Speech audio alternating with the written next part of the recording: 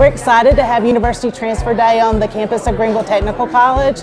Our partnerships with our four-year colleges and universities are important for our students and so today gives them the opportunity to visit the tables and talk with the representatives to find the best campus fit for them, the best match for their programs that they're wanting to leave to join after leaving Greenville Tech. I've noticed that Greenville Tech students um, go above and beyond to try to make sure that they're on the right path to transfer.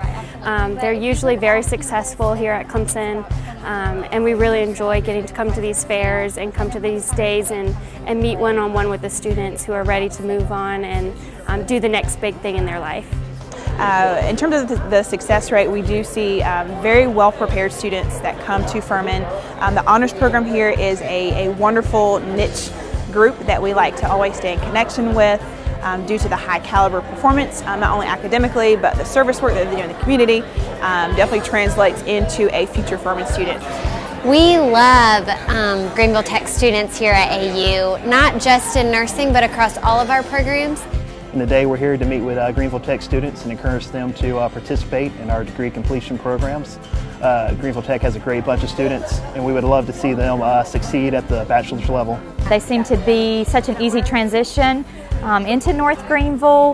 The students are very well prepared. Um, they've developed study skills, they've matured socially, so it's usually a very easy transition for students coming from Greenville Tech into North Greenville. We are here at the Greenville Tech Transfer Day because we like to have a positive relationship with Greenville Tech and we like the caliber of students that we receive from here.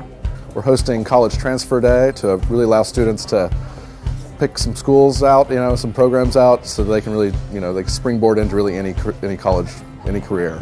Uh, start here, really go anywhere. I know that the faculty here at Greenville Tech want them to start thinking about their bachelor's almost immediately when they come in, and I see that in students that have just started an associate's degree that are thinking through um, continuing their education right off the bat and think that that is just the type of institution that Greenville Tech strives to be. They want their students to succeed in every way.